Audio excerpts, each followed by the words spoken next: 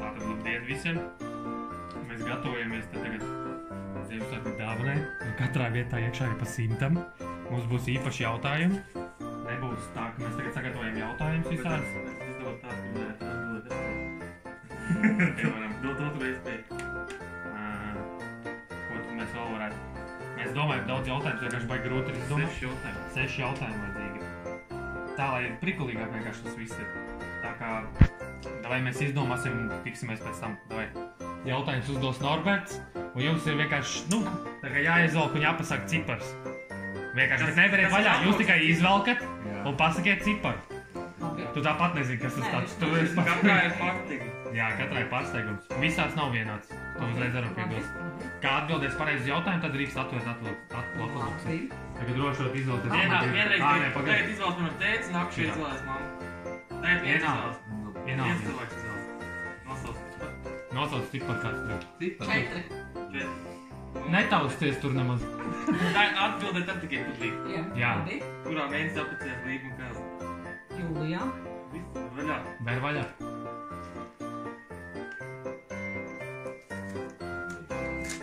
Jā, droši. Tikai ne tā galīgi uz pusēm, ne?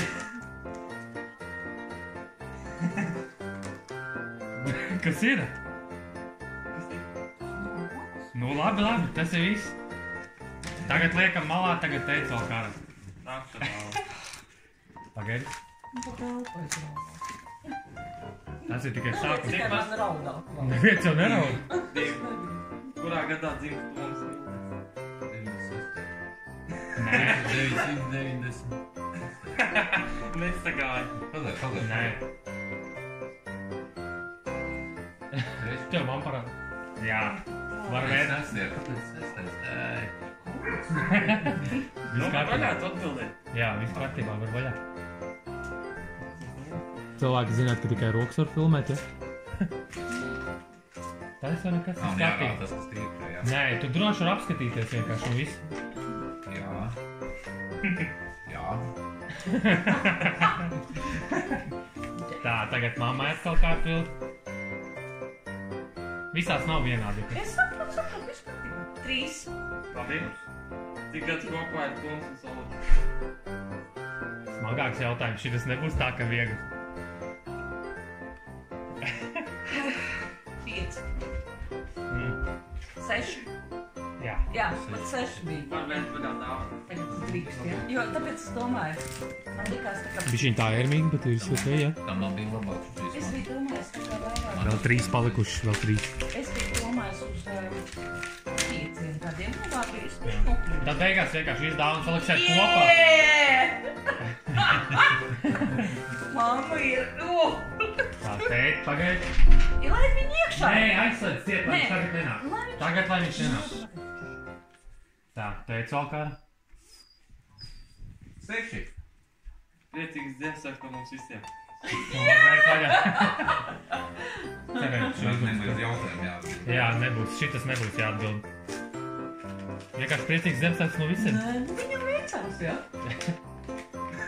Beigās vienkārši saliks kopā un tu pateiksi. Man, man ir biezāk čukla. Tāda mammai.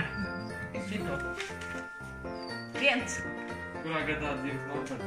O, 1999. Jā, varbūt pareizi. Varbūt pareizi. Man bija pilnīgi Teicu, vien... arī var droši tad ņemt jau. Man bija vienkārši jautājums. Tas ir Pieci. piektais. Vai jūs gribat redzēt, kas ir iekšā šajā aploksnē? Jā. Atbild nepareizi. Man veicās. Es vispār esmu... Es esmu vispār bagāta. Tagad, tagad varat visas aploksnes atvērt vaļā, visas paņemt, salikt kopā un apsīdīt, cik ir kopējais viss. Kas jums ir? Labi. Tā ir jūsu kopējā visiem. Tā tas nav jums tā katra zem atsevišķi. Es visi zinu, kopā. zinu, jā, visu. Vienkārši jums jautājumi bija vienkārši katram Jā, jā, jā.